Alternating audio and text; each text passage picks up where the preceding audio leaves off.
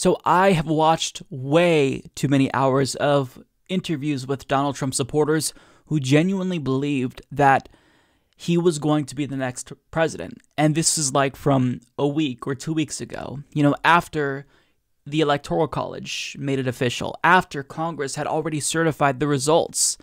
You know, all that's left was Biden's inauguration. And up until that point, there were still Donald Trump supporters, uh, namely QAnon supporters, who actually believed that Trump was going to be sworn in for a second term.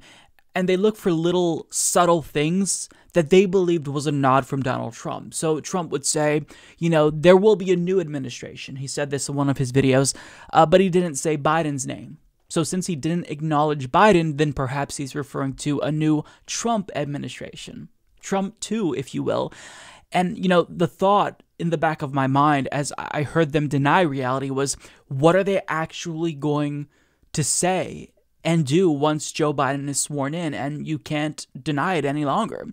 Uh, and a lot of QAnon supporters believed that on inauguration day, Joe Biden wouldn't be sworn in. Rather, Trump would uh, impose martial law and Joe Biden would be arrested. I think I'm oversimplifying what they believe was going to happen, but that's kind of the gist of it. Um, and according to uh, what they're saying now, their reactions are pretty interesting. There's still some folks who are denying that Joe Biden is president or that this is all part of Trump's plan now that he's sworn in. But I am a little bit relieved to see some of them kind of get the reality check that they really desperately needed. So I want to share some of the comments from QAnon conspiracy theorists who are really shocked right now. This person says, Well, I'm the official laughing stock of my family now. Awesome. I mean, you kind of deserve it. Uh, this is an embarrassment. Here come all the excuses now. Uh, this person says, Q also said noon. I will start kicking people for their attitudes. We are patriots. You stand here and hold the line with us, or you can leave, your choice.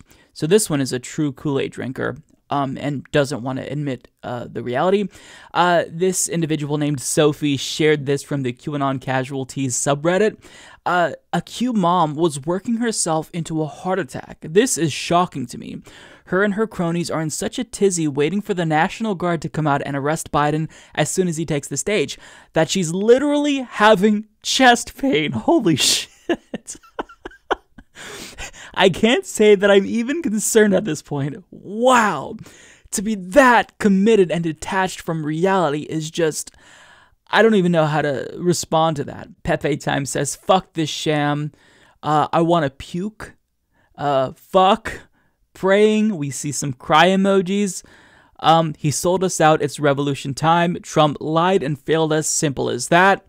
Um, so I mean, like, I don't know if these folks think that Donald Trump was going to actually like arrest Joe Biden, or that you know Q was just wrong, uh, or Q was right, but Trump got cold feet. But either way, they think that Trump sold them out, which is interesting. Um, you see one person laughing, probably a troll. Um, and then this person says, We were lied to by Q, and now we have to figure out how to move on. This is what I want to see. I want to see them realize that they were misled and they were duped. Uh, this person says, I am sick to my stomach. Uh, we've been played, so what now? Sad and confused, sick to my stomach. Uh, this person says, Where's the damn storm? What happened? Why didn't the plan work? I feel stupid. Very interesting. Uh, Trump fooled us. Worst day in American history. I'm sick to my stomach. I can't believe what is happening. Nothing to let out but disappointment.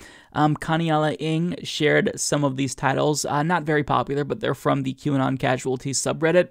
Can the military step in now? Mods, please explain why Biden isn't arrested yet. So, what date do we wait for now? So, you know, there's a lot of folks based on this. I mean, this is a small sample size, obviously, but uh, they feel embarrassed and stupid. Some of them feel as if Donald Trump betrayed them.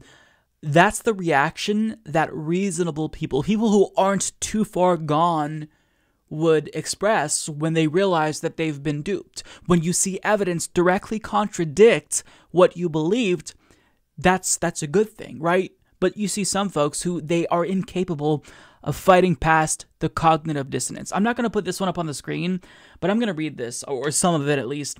So, this person is uh, trying to rationalize why Biden was sworn in. Trump is now stepping down, not in the way that you think. He is allowing a smooth transition of power, not to Biden, but to the military. This is exactly what he means transition into martial law. So Biden isn't actually the president. This is a transition into martial law. And I don't think they realize what martial law is and why that would be bad for all of us. Uh, but this person continues As predicted, General Flynn will be taking the reins here for a while. You didn't hear during POTUS speech anything about Biden or conceding. This is part of NESARA and GESARA, as he has stepped down from the U.S. corporation dead entity into the new administration 1776 Constitution Party. I don't think I have to go much further because this is going to uh, rot my brain if I read anymore and rot your brain as well. But some folks are still trying to believe that QAnon was correct and Trump is still fighting for them and Trump still has a plan. Trust the plan, guys. This, I mean, if you can't leave this, then this is really sad. I, I hope that most people react to this by thinking, wow, I was duped. It's time for me to move on.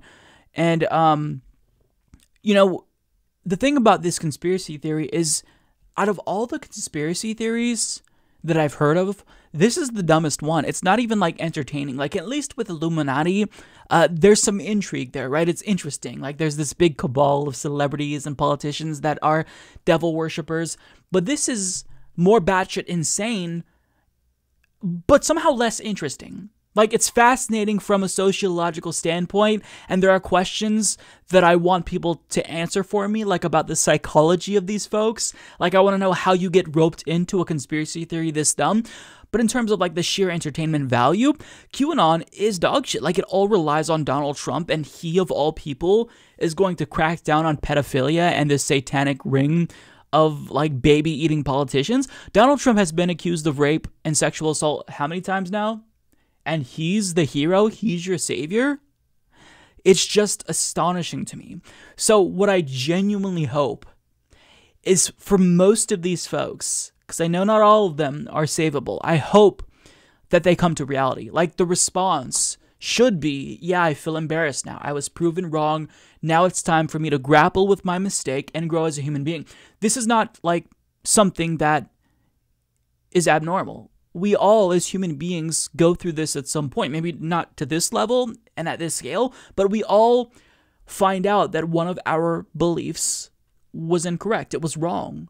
And we staked a lot on it. Like for me growing up, I was indoctrinated into religion. I was an evangelical and you know learning that that was all a lie and it was wrong and there's no evidence that God exists, it really is an eye opening thing. And it really opens the door to you being more objective and impartial, I think, because you kind of question yourself once you fight past the cognitive dissonance. You think, well, since I was wrong about this, what else am I wrong about?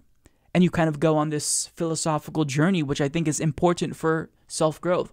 So I hope that that happens with these folks. I genuinely hope that a lot of these people wake up and this is the reality check that they needed. But some of them are going to try to rationalize it, and that's to be expected. Some of them are just too far gone. But if a lot of people leave the cult and they wake up, I'm going to applaud that. You know, welcome back to reality. We've missed you, but hopefully going forward, you know, you are a little bit more rigorous in, you know, the sources that you uh, consume, in the media that you digest. Be a responsible consumer of what you perceive to be news. Like if you see it in a meme on Facebook, maybe before believing that, just do a quick fact check. If you hear it from some entity who is supposedly working for the government, but that individual pre- presents like no evidence that that's the case, maybe question their motives, question whether or not more evidence is necessary. Let's just try to be more responsible and uh, have some common sense. That's literally all that I could ask and hope for. The Humanist Report is fake news. Mike only cares about Crazy Bernie and his wacky socialist ideas. Sad, very sad. I'm unsubscribing.